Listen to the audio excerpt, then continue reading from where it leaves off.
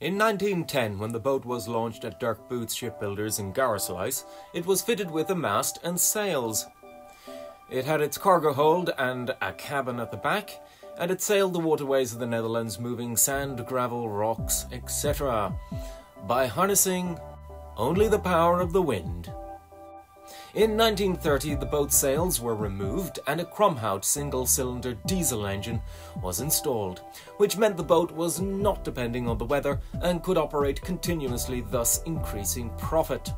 The Kromhout engine provided propulsion right to the end of its commercial life in 1964. When the boat was purchased by Chris Cable in 1964, the Kromhout engine, this simple and reliable engine, continued as the boat's only propulsion until the engine was replaced in the 1970s by its current DAF 475 diesel engine. With the installation of the DAF engine, the boat was rigged for sailing and renamed De Vrouwe Linda. Over the 45 years, De Vrouwe Linda has not changed its propulsion systems. Today, as the new owner, I've decided to replace the mast. Most Dutch barges today are moved under diesel power only, but I have a long term plan to harness renewable energy to propel the boat. So I purchased a sailing Dutch barge as a start point to create a zero emissions boat, as it was on the day it was launched. So, this episode is about my efforts to achieve this and my future plans in this regard. In September 2019, De Vrouwe Linda had its mast removed and the replacement mast is currently being made. The old mast had its counterweight bolted on, and Nico cut it off and then set it to one side. Now, rather than attaching the counterweight onto the new mast as it was, Rob Cable suggested the lead should be melted down into smaller bars and stacked on the end of the mast like this. This means if in the future the counterweight needs to be removed, it can be dismantled by hand and removed without the use of a crane. This would be valuable if the boat needed to get under a low bridge. The counterweight could be removed to lower the air draft, as the lead counterweight is the tallest point on the boat when the mast is in its lowered position. I got to work with a variety of cutting tools, and it took me many days to break it all down.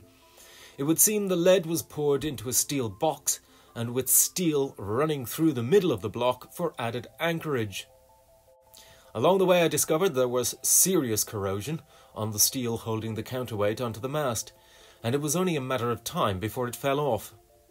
This highlighted another reason to convert to a stackable solution for future safety inspections. Once the lead was broken down into smaller pieces, it was stored safely away. Meanwhile, Thijs worked on the carving of the mast, while I focused on the engine. The engine is 45 years old at least, and it hasn't run much in five years. I'm told that Chris Cable looked after the engine and it was always professionally serviced. However, it is now very smoky. At the time of filming this, I've learnt a lot about this engine over many months, and what I'm about to say is a distilled version of my journey so far. I put a new battery in and reconditioned the alternator. I have since found that the engine's electrics are draining the battery when the engine is off, so the battery has to be disconnected as soon as the engine is turned off to maintain its charge. I suspect these corroded dials are part of the problem and need to be replaced. The good news is that the wiring used is of excellent quality, so it won't be difficult to fix. The smoke coming from the engine is unburnt fuel, as you can see, so this would be a number of problems. Worst case scenario is worn piston rings and resulting in poor compression. This would require an engine rebuild. The boat was sitting unused for years and was then moved to Harlingen when I surveyed and purchased the boat. The diesel the engine burned that day was seriously contaminated. The diesel was removed from the tank and cleaned out and refilled with fresh diesel. I added diesel detergent to clear out any crap in the fuel system and combustion chamber. This made a small improvement. Next was to have a look at the injectors themselves to see if the fuel was getting to the combustion chamber. So I whipped them out with ease and brought them down to Motoren Revisie de Boer in Sneek, And these guys were great and tested my injectors right in front of me. The injectors were in good working order. I bought new compression washers, various gaskets, and reinstalled them onto the engine. But the big change to the exhaust was when I set the valve clearance. On this engine, it's 5 millimeters, which is a huge gap by today's standards. The settings were all over the place, and this made a big difference once the engine was warmed up. Compression can be lost through the intake valves, exhaust valves, the injector cups, and piston rings. A compression test followed by a comprehensive cylinder leak test will confirm any ongoing compression issues. Unfortunately, that was as far as I got before the world went into lockdown. But the guys at Motoren Revisie de Boer said that the most likely culprit for the smoke was the fuel pump. The CAV fuel pump wears out its diesel return valves. As the fuel is pushed out of the pump under pressure to the injectors, there is a return valve to stop that fuel losing pressure or sending the fuel back into the pump between squirts. The failure of these valves would mean the pump has to pressurize the entire fuel line as well as the injector instead of just the injector. These valves wear and reduce the amount of fuel getting to the combustion chamber, reducing the quality of the burn. During this time in lockdown, I found a manual for the engine online and I learnt a lot about the fuel pump. And there are many things I needed to know, but didn't. For example, the fuel pump has its own oil lubricating system, and this has to be changed. The engine has a cold start setting. I knew nothing about. But more importantly, the fuel pump has a mechanical timing adjuster that needs to be reset at certain service intervals, all of which could result in poor combustion.